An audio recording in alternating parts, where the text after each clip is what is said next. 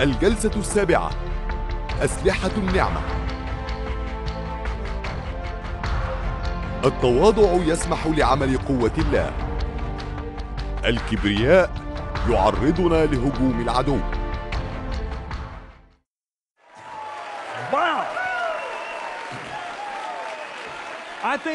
أعتقد أن أمة بأكملها يمكن أن تتغير بالإيمان الموجود في هذه القاعة. أمين؟ مرحبا بكم مرة أخرى في برنامج لا تستسلم أبدا. نحن في الجلسة السابعة. عنوان الجلسة أسلحة النعمة. سنغطي الفصل التاسع والعاشر. تفضلوا بالجلوس كي نبدأ. يا له من أمر عظيم أن أكون مع إخوتي المحاربين. أريد أن أقرأ لكم جزءا من الكتاب في أفسس 6 12 يقول بولس فإن مصارعتنا ليست مع دم ولحم بل مع الرؤساء مع السلاطين مع ولاة العالم على ظلمة هذا الدهر مع أجناد الشر الروحية في السماويات. كل ابن من أولاد الله هو في حرب. إن لم نكن في حرب. فنحن إذا من هذا العالم. ونحن مخدوعون في ظننا أننا ننتسب لله. لو افترضنا أنكم تعيشون في ألمانيا في أيام هتلر. إذا كنت من سلالة ألمانية فإنك تستطيع أن تعيش في سلام في راحة. كل يوم يمر عليك مريح وعادي. أما إذا كنت من اليهود فسوف تعيش حياتك في حذر. ستعيش بطريقة مختلفة تماما عن أي شخص ألماني. هل تتابعون ما أقول؟ اليهود الحكماء هناك سلحوا أنفسهم. لذلك نجوا من الاضطهاد والتعذيب وحتى القتل. دعوني أقول لكم إن إبليس وأعوانه أفظع بكثير من هتلر. إذا كنت من سلالة إبليس فأنت لست هدفا له. وقتها أنت لا تحتاج أن تكون في وضع الاستعداد للحرب قال يسوع للقادة الدينيين أنتم من هذا العالم. ثم كان أكثر تحديدا فقال لهم أنتم من أب هو إبليس. رغم أنهم كانوا يعتقدون أنهم يخدمون الله لكنهم كانوا يخدمون إبليس وأعلن يسوع ذلك بكل وضوح. فالعالم الذي نعيش فيه وانتبهوا لذلك جيدا يعادي كل ما يرتبط بالله. أعلن يسوع هذا بوضوح عندما قال في يوحنا 15 19 لو كنتم من العالم لكان العالم يحب خاصته. ولكن لأنكم لستم من العالم بل أنا اخترتكم من العالم. لذلك ذلك يبغضكم العالم. لا مجال لتحوير هذه العبارة. قال يسوع العالم سيبغضكم لأنكم تتبعونني. أمر آخر مهم عن التسلح هو أن نعرف كيف نستخدم هذه الأسلحة التي نمتلكها. الأسلحة التي نحارب بها بحسب ما ذكره الرسول بولس ليست من هذا العالم. بالعكس إننا نمتلك قوة إلهية تهدم قوى العدو. قوة إلهية. ما الذي يتكلم عنها عندما يقول إن لهم قوة إلهية؟ إنها نعمة الله. حسنا إذا تعمقنا فيما كتبه بطرس سنكتشف أن قوة الله في حياتنا هي وجه من أوجه نعمته. كتب الرسول بولس نفس هذه الكلمات لتيموثاوس. فتقوى أنت يا ابني بالنعمة التي في المسيح يسوع. فاشترك أنت في احتمال المشقات كجندي صالح ليسوع المسيح. قال بولس يا تيموثاوس تقوى بالنعمة التي في المسيح يسوع. إذا كنا نعيش بهذا الفهم المحدود لمعنى النعمة أنها فقط لغفران خطايانا ولتمنحنا تذكرة الدخول للسماء فإن هذه العبارة لا تعني لنا شيئا. لكن عندما ندرك أن نعمة الله هي قوته نستطيع أن نفهم ما قاله بولس تقوى بقوته. هذا ما يقوله بولس آمين؟ ماذا سنفعل الآن؟ سنتعمق أكثر في رسالة بطرس وعندها سوف نرى معا شيئا مدهشا ذكره بطرس. سأقرأ عددا من الشواهد الكتابية بهدف أن تكون في بؤرة اهتمامنا. سنركز على هذه الشواهد حتى نهاية دراستنا. تقول رسالة بطرس الأولى خمسة من أعداد خمسة إلى 12 كونوا جميعكم خاضعين بعضكم لبعض وتسربلوا بالتواضع لأن الله يقاوم المستكبرين. وأما المتواضعون فيعطيهم نعمة أي قوة. فتواضعوا تحت يد الله القوية لكي يرفعكم في حينه ملقين كل همكم عليه لأنه هو يعتني بكم. اصحوا واسهروا. لأن إبليس خصمكم كأسد زائر يجول ملتمسا من يبتلعه هو. فقاوموه. راسخين في الإيمان. عالمين أن نفس هذه الآلام تجرى على إخوتكم الذين في العالم. وإله كل نعمة الذي دعانا إلى مجده الأبدي في المسيح يسوع بعدما تألمتم يسيرا.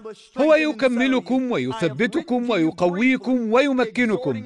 كتبت إليكم بكلمات قليلة واعظا وشاهدا أن هذه هي نعمة الله الحقيقية التي فيها تقومون.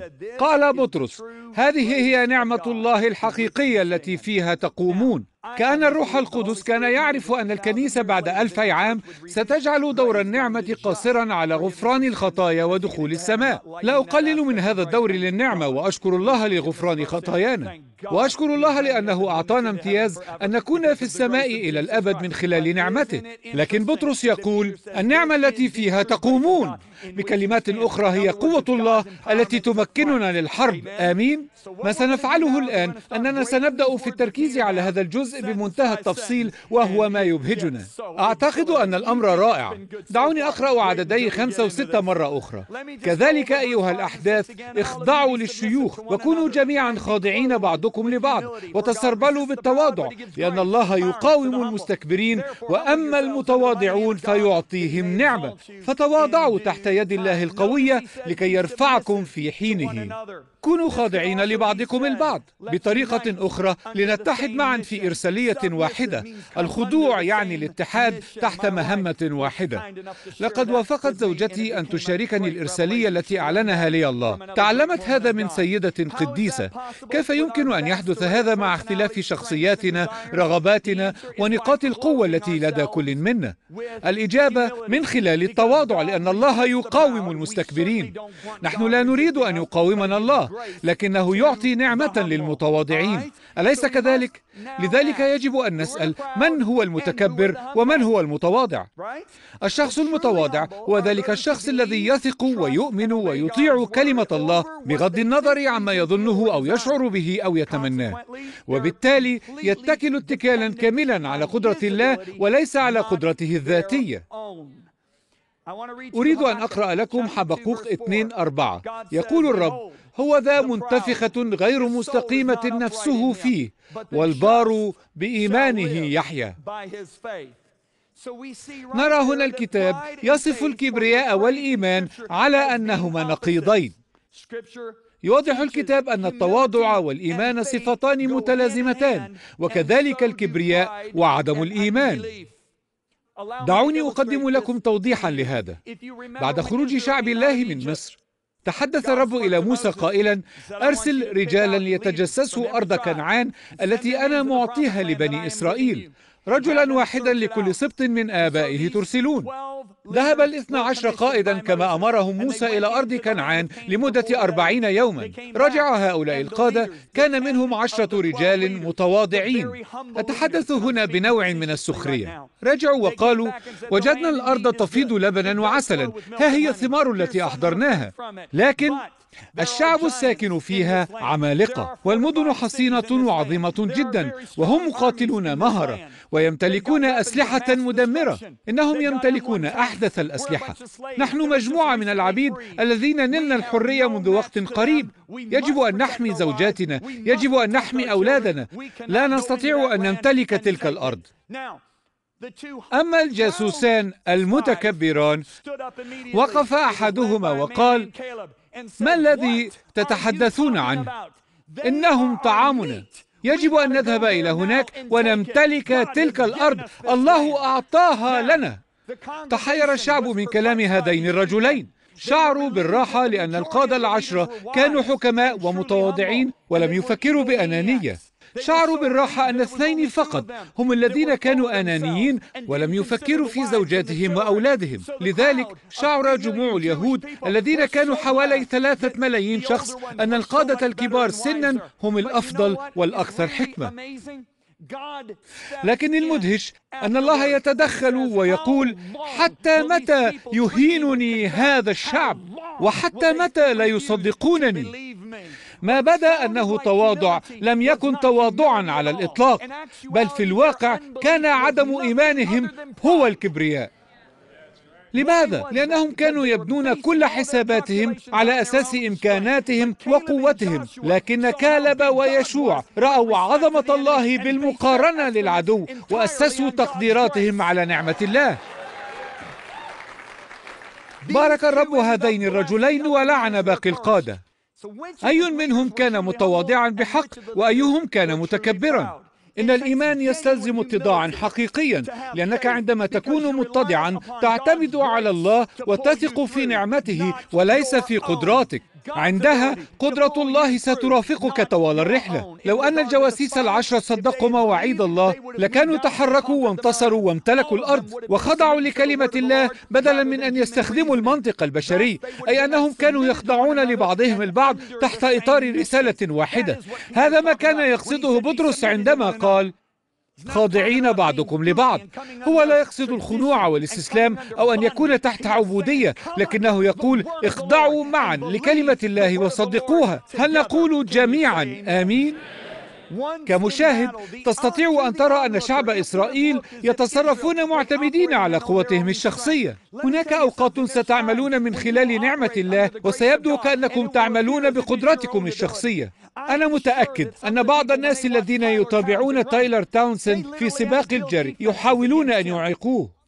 هل تعلمون أن الفرق المنافسة تتحالف لتعطيل تايلر تاونسند أنا متأكد أنهم يعتقدون أن هذا الشاب موهوب لكن الحقيقة أن نعمة الله التي فيه هي التي جعلته يفوز بالبطولة الموسم الماضي هل تتفقون معي؟ هناك أوقات تتجلى فيها نعمة الله كما كان الحال مع شمشون آمين؟ التسربل بالتواضع يعني أن نلبس سلاح الله بدلا من أن نتسلح بإمكانياتنا بطرس قال سأعيد كلماته تسربلوا بالتواضع. فتواضعوا تحت يد الله القوية. يد الله تشير لقدرته يعني قوته. إنها سلاحه. كيف يمكن أن نطبق ذلك عمليا؟ أن نرفض أن نجعل خبرتنا أو خبرة الآخرين هي التي تفسر لنا كلمة الله. بدلا من ذلك نؤمن بها بغض النظر عن المنطق. آمين؟ وبالتالي نسمح لكلمته أن تكون القائدة لخبراتنا. لمئات السنين ترسخت تلك القناعة لدى شعب إسرائيل أنهم لن يستطيعوا أن يدافعوا عن أنفسهم أمام جيش أقوى منهم ويمتلك أسلحة أكثر منهم. ترسخت هذه القناعة فيهم لمدة أربعمائة سنة. كانت مصر تستعبدهم. لم يفعلوا أي شيء ليحرروا أنفسهم. الله هو الذي حررهم. يخبرنا الكتاب أن الله حررهم بيد قوية. في خروج 13 تسعة يقول موسى لأنه بيد قوية أخرجك الرب من مصر. لكن الكتاب يخبرنا أنهم أسرعوا فنسوا أعماله.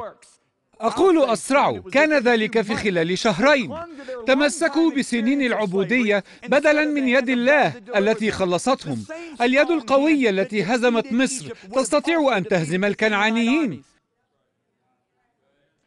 جيوش الكنعانيين كانت أضعف كثيرا من جيوش المصريين. كم مرة نفعل نفس الشيء؟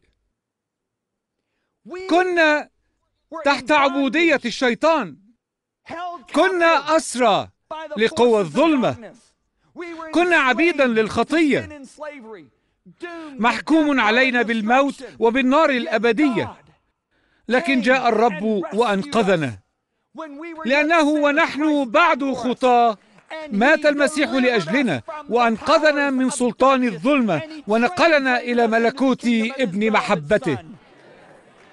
هذه أعظم معجزة يمكن أن تحدث في العالم.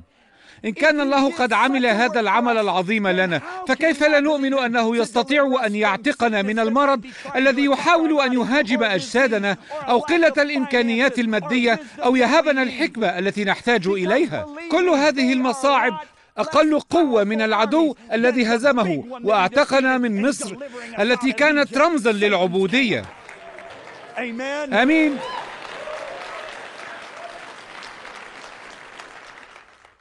من المحزن أن يساء فهم التواضع على أنه ضعف أو جبن أو رخاوة. هذا ليس تواضعا. أمين؟ في الواقع يعلن الكتاب عن أشخاص متواضعين بحق. لكن يساء فهمهم على أنهم مغرورون. إذا تأملت في داود ذو الستة عشر سنة كان إخوته الثلاثة الأكبر منه في الحرب. قال له والده خذ طعاما. واذهب افتقد سلامة إخوتك. ترك داود الأمتعة التي معه مع حافظ الأمتعة. وذهب ليفتقد سلامة إخوته الثلاثة ليجدهم في وضع غريب مختبئين بين الصخور وهم يرتجفون. ينظر داود إلى إخوته للأخ الأكبر ثم ينظر إلى العملاق الفلسطيني ويتساءل. من هو ذلك الفلسطيني الأغلف؟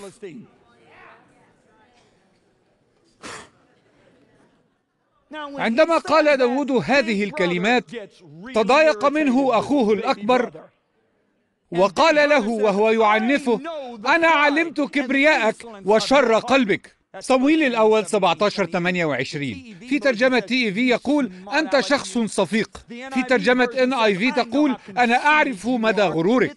من الواضح أن أليآب كان يرى داود متكبرا ومغرورا. من هو المتكبر؟ في الأصحاح السابق أتى نبي الله وقال ليسى واحد من أولادك سيصبح ملكا.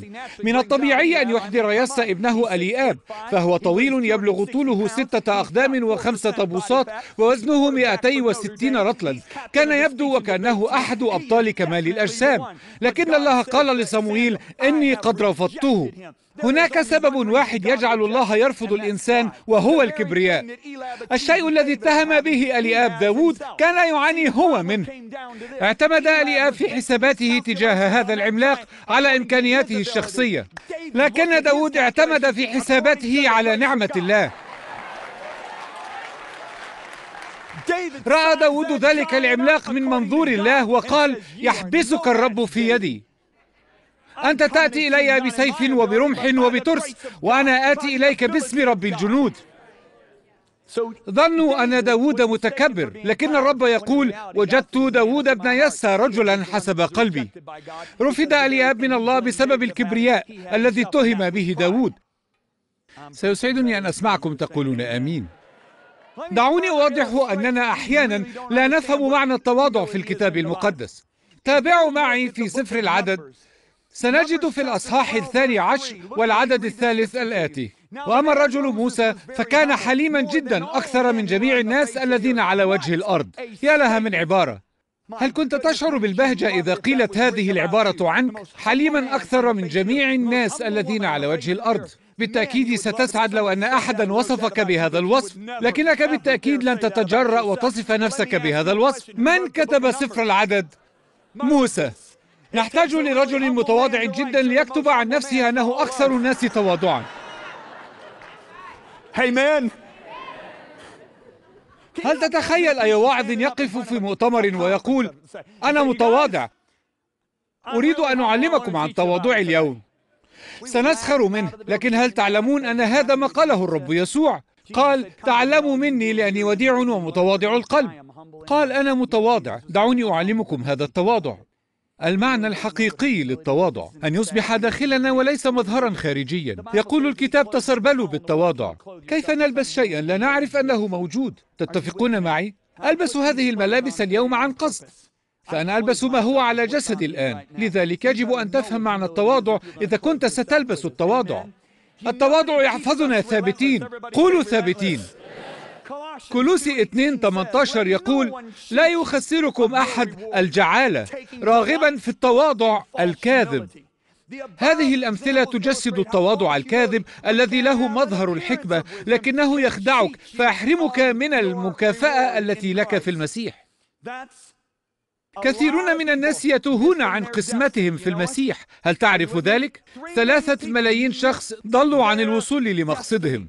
سألني أحد القادة يا جون هل تفضل أن تعظ لثلاثة ملايين شخص أم لاثني عشر قائدا؟ قلت أفضل لثلاثة ملايين قال إجابة غير حكيمة لأن عشرة قادة حرموا ثلاثة ملايين من الوصول لمقصدهم الأفضل أن تعظ لاثني عشر قائد عن أن تعظ لثلاثة ملايين. كلمات حكيمة. نحن مدعوون لنكون قادة مؤثرين. هل أنت متسلح بالتواضع وتخضع تحت يد الله القوية أم أنك تتظاهر بالتواضع لكنك تتكل على قدرتك وإمكانياتك؟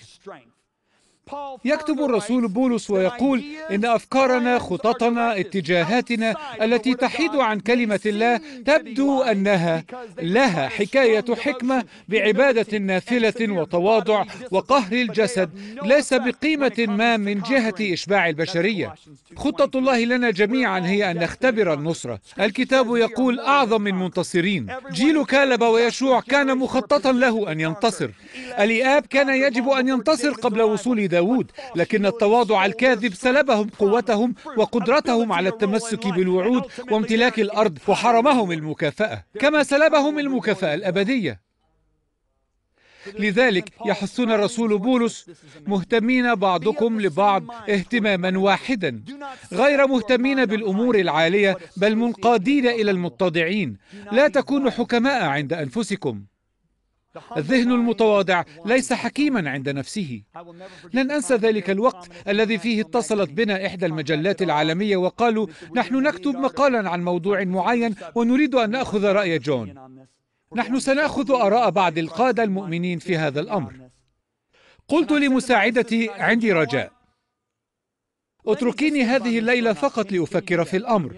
كان الأمر يزعجني تماما كما تشعر بالضيق لاحتكاك أظافرك بالسبورة. هذا ما كان يحدث داخلي وعندما رجعت إلى البيت في تلك الليلة شاركت ليزا وقلت لها هذا الأمر يزعجني.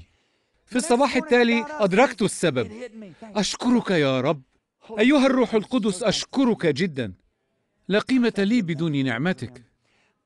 ثم ذهبت إلى ليزا. لا قيمة لي بدون ربي وزوجتي. قلت لها ليزا ليزا أعتقد أني عرفت السبب. من أكون أنا حتى أعطي رايا. أنا مجرد سفير. الكتاب يقول أننا سفراء. عندما يرسل السفير لدولة ما فهو لا يتحدث عن أفكاره وآرائه. هو لا يتكلم بكلماته لكنه يوصل كلمات الملك لتلك الدولة. إنه كبرياء بل وجراءة أن أقدم رأيي. هذه المجلة أتت إلي كمندوب عن المسيح. أنا سفير للمسيح. من أنا لأقدم رأيي؟ فقلت لمساعدتي ارفضي الأمر. لن أقدم أي آراء. هذا الموقف ذكرني ببداية خدمتي. كنا في حالة عدم استقرار خلال السنوات الأربع الأولى. كنا نسافر في سيارتنا الصغيرة. أديسون في كرسي الأطفال وأوستن في الكرسي الثاني. أمتعتنا مكدسة. الشرائط والكتب في علبة بين الكراسي. كنت ستضحك من قلبك إذا رأيت سيارتنا المكدسة. كنا نقود السيارة في كل مكان ونعظ في الكنائس نذهب لكنائس صغيرة نعظ بكل قلوبنا أنا وليزا أتعرفون؟ عملنا باجتهاد أنا والقس كين وكنت أمينا. وحتى في الكنائس الصغيرة كنت أعظ كما لو أني أعظ لعشرة ألاف شخص. فكرت في داخلي أنا مدعو للخدمة بين أمم كثيرة. في أحد الأيام بينما كنت أصلي في مكان منعزل في فلوريدا قال لي الله كنت أمينا جدا معي. أرسلتك لكنائس صغيرة وكنت امينا وهذه الكنائس لم تكن مؤثرة في مجتمعاتها. هل يمكنني أن أقول هذا؟ هناك كنائس صغيرة ومؤثرة في مجتمعاتها وهناك كنائس كبيرة غير مؤثرة في مجتمعاتها. إنها مجرد أماكن للتجمع. كنت أذهب لكنائس الكثير منها غير موجودة الآن لكن في كل الأحوال كنت أذهب لكنائس لم يكن لها تأثير كبير. لكن الرب قال لي لقد امتحنتك. كنت أمينا في الصحراء. وسوف أباركك أكثر مما تتخيل. قال سأبدأ في إرسالك لكنائس مؤثرة. ستعظ في أماكن لها تأثير قوي على مجتمعاتها بل وعلى كل منطقتها. ثم قال وسأباركك ماديا أكثر مما تتصور. واستمر في إعلانه لنا عن البركات التي سوف يباركنا بها. بقيت في مكاني مندهشا كان الله يتحدث إلي ثم قال لي بعد هذا الحديث الطويل عن البركات سيكون هذا امتحانا لك قلت يا إلهي ثم قال هل ستستمر تثق في في كلامك على المنبر أم ستبدأ في تقديم آرائك الخاصة؟ هل ستستمر تثق في في الأمور المادية؟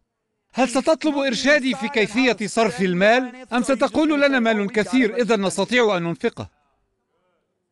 قال هل ستتخذ قرارات مبنية على رغباتك أم أنك ستستمر في طلب مشورتي؟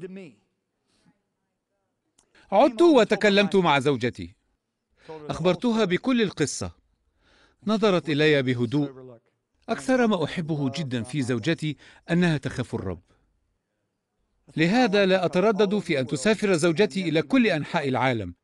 لماذا؟ لأني أثق فيها تماما. لماذا؟ لأنها تخاف الله. عدت إلى البيت وأخبرت ليزا. لن أنسى تلك الليلة ونحن نجلس في المطبخ. قالت لي ليزا عندما سمعت الجزء الأول من رسالة الله لك كدت أرقص من الفرح. وبعد أن سمعت الجزء الثاني سأسقط مخشيا عليه. قلت هذا هو رد الفعل الصحيح لأنك تخافين الله. الله وعدنا أنه سيباركنا. لكن اسمعي لما قاله الرب لي. يا بني كل أبنائي يجربون في منطقتين القفر والوفرة. لقد قال إن معظم الذين سقطوا لم يكونوا في القفر. في القفر تثق في الله في كل شيء. لكن معظم الذين سقطوا سقطوا في الوفرة. الكبرياء خادع جدا. أعتقد أنه من أكبر أسلحة العدو المؤثرة التي تعيق إنهاء السباق بنجاح. المتكبرون يفقدون الرؤية. نقول يفقدون الرؤية. فهم لا يرون العدو وهو يتقدم. فهو يضربهم من الخلف. كم سمعت من الذين فقدوا كل شيء عبارة لم أرى الخطر قادما. هناك سبب لهذا. إذا تأملت سلاح الله نجد أن كل أجزائه للدفاع من الأمام. تأمل الدرع ترس الإيمان فهو يحميك في المواجهة من الأمام. إذا ما الذي يحمي ظهورنا؟ إشاعية 58 يقول ومجد الرب يجمع ساقتك. لكن الرب يقول مجدي لا أعطيه لآخر. عندما يدخلنا الكبرياء نفقد حمايته لظهورنا ويصبح هذا الجزء مكشوفا للعدو. تعرفون سهولة أن يضربك العدو من الخلف عندما لا تكون منتبها. هذا ما يحدث لك من العدو عندما تتكبر. تتفقون معي؟ عندما نعطي لأفكارنا الأولوية على أفكاره فإننا نعمل من خلال كبريائنا وبالتالي نفقد حماية ظهورنا. عندما أرى المعرفة المشوهة عن التواضع والكبرياء أرتجف. يقول الرب في هوشع أربعة ستة هلك شعبي من عدم المعرفة. كم من الأشخاص هلكوا بسبب عدم المعرفة؟ إن كان ألياب قد أساء فهم تواضع داود وظنه كبرياء. إن كان الجواسيس العشرة بل وكل الشعب قد أساءوا فهم تواضع كالب ويشوع واعتبروه كبرياء. فماذا عنا اليوم؟ أستطيع أن أشبهها برحلة طويلة. أنت في رحلة طويلة بسيارتك؟ وصلت إلى تلك المنطقة التي بها ثعابين سامة وحيوانات مفترسة. هذه الحيوانات والثعابين السامة لن تتردد في افتراس الإنسان. تقرر أن تخرج من السيارة لتتناول طعامك فتصبح طعاما. كنت تجهل طبيعة هذه المنطقة الخطرة. ذهبت أنا وليزا في رحلة سفاري في أفريقيا. كانت من أمتع الأوقات التي قضيتها أنا وزوجتي. التجول في السفاري ورؤية الأسود والنمور أرادت ليزا أن تربط على أسد الأمر الذي لم أصدقه بدأت ليزا تحرك يدها تجاه الأسد ونحن داخل السيارة فقلت لا تفكري في هذا الأمر. كانت تدلل الأسد وتقول مرحبا أيها الأسد. قلت لا تفعلي ذلك يا عزيزتي. لأنها كانت تحب الأسد. كتبت ليزا كتابا بعنوان أنثى الأسد. يجب أن تقرأه. إنها رسالة رائعة. كنا في ضيافة القصوص في جنوب أفريقيا في هذا المكان الرائع. كنا نقيم في عشة خاصة مجهزة تضاهي فندق خمس نجوم. كانت تجربة متفردة. أعجبتني. كل زوجين كانا يقيمان في عشة منفصلة. كانت مساحة العشة حوالي 1400 قدم مربع.